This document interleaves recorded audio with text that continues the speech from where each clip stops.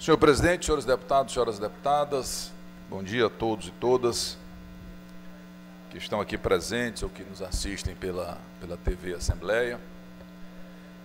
Eu refleti um pouco sobre o debate que fizemos aqui, sobre o tema governo do calote, e sobre as interpelações que ocorreram pelos colegas deputado Miltinho, pelo deputado Adelmo, outros deputados na semana passada falaram sobre o tema. É, alguns dizendo que essa expressão seria talvez injusta né, com o governo, que eu tenho, que eu talvez esteja sendo muito duro ao classificar o governo Carlos Brandão de governo do calote. Mas, deputado Miltinho,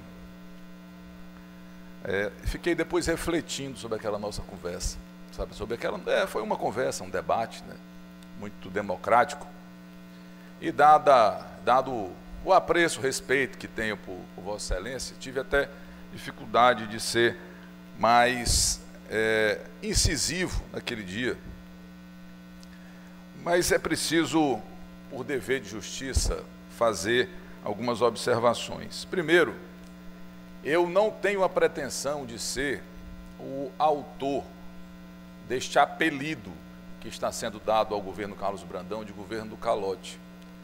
Eu tenho que reconhecer, deputado Miltinho, que quem primeiro acusou o governador de, de dar calote foi a Federação dos, dos, Municípios do Estado do Maranhão, a FAMEM.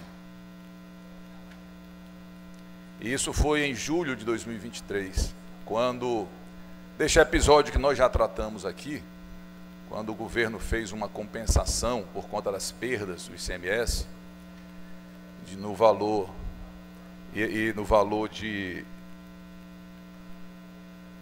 500 e tantos milhões, foi abatido da dívida do governo estadual com a União, o governo do estado, apesar de ter assinado um documento com o Supremo Tribunal Federal um acordo, este acordo homologado através de uma lei complementar, aprovada no Congresso Nacional e sancionada pelo presidente Lula, procedimento este que permitiu que o governo conseguisse abater essa dívida, o governo do estado não repassou os 25% da cota parte dos municípios. E a FAMEM, de forma correta, inclusive, quero elogiar a iniciativa do, do então presidente, Ivo Rezende, seu sobrinho, que ajuizou uma ação cobrando o governo do Estado, dizendo: opa, o governo do Estado está com problemas nas suas contas, mas os municípios também estão. E, deputado Miltinho, a FAMEM foi mais dura do que eu, que ainda tento ser sempre cordial nas minhas críticas. Vou ler um trecho aqui, a Vossas Excelências terem noção. Eu me refiro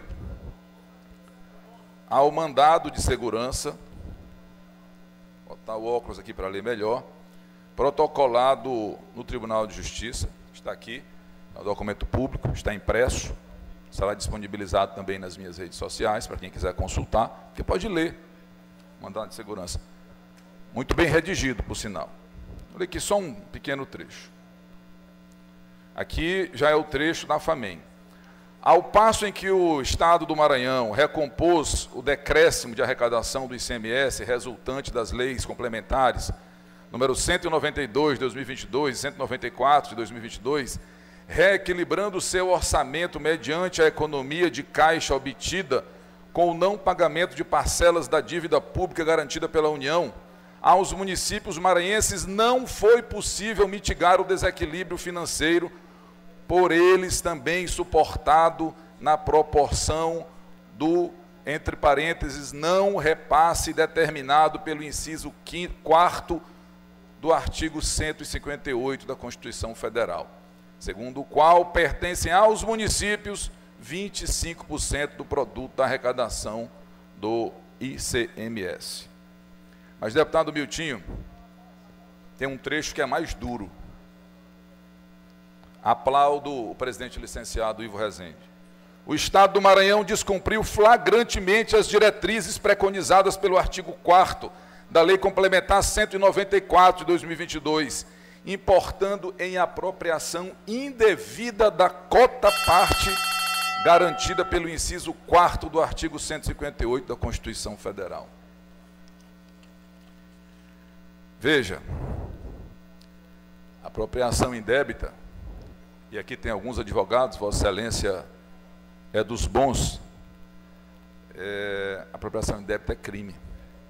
A FAMEM acusou o governador de crime de apropriação indébita. Qual é o artigo do Código Penal? Eu não sei. Esse não é o meu ramo. Eu sou jornalista, mas os advogados bem sabem. Para não abusar da paciência do presidente Francisco Najib, parto para, para concluir esse pronunciamento, dizendo que eu tenho que admitir que esse apelido realmente, que pegou, né? o governo Brandão é o governo do calote, ele foi, o, foi inaugurado pela FAMEM, e o que está acontecendo é que a cada dia nós estamos confirmando, infelizmente, essa realidade. Quer seja em situações pontuais, quer seja em situações mais gerais, mas eu finalizo mesmo esta fala perguntando como é que vai ficar essa situação, porque e os municípios que não quiserem assinar o tal acordo, não vão receber? Não vão receber, vai ficar lá, o governo vai continuar dando calote nos municípios?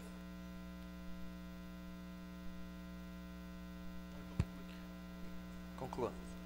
Em menos de um minuto concluo. E aqueles que aderirem vão mesmo ser obrigados a pagar os 15% de honorários advocatícios, que sinceramente não me parecem devidos?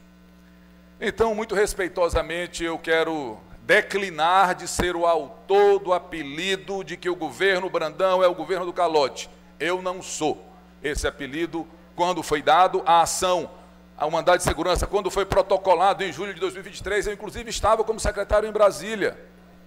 Então não acompanhava tão de perto. E depois, quando retornei ao Maranhão, que fui ver de perto, vi que a FAMEN tinha razão e que de fato havia um calote com os 217 municípios do Maranhão. E finalizo mesmo dizendo que fiz questão de fazer referência aos meses que passei na Secretaria de Brasília, para dizer que cumpri com meu dever. A Secretaria de Brasília, que aliás hoje está muito honrosamente o conselheiro aposentado Washington Oliveira, tem até duas agora. É, tem a, a do Washington, que foi colocado lá talvez para atender o PT, e tem uma outra que é que de fato com quem de fato o governador despacha. Mas não é atribuição dessa secretaria trazer recursos para o Maranhão.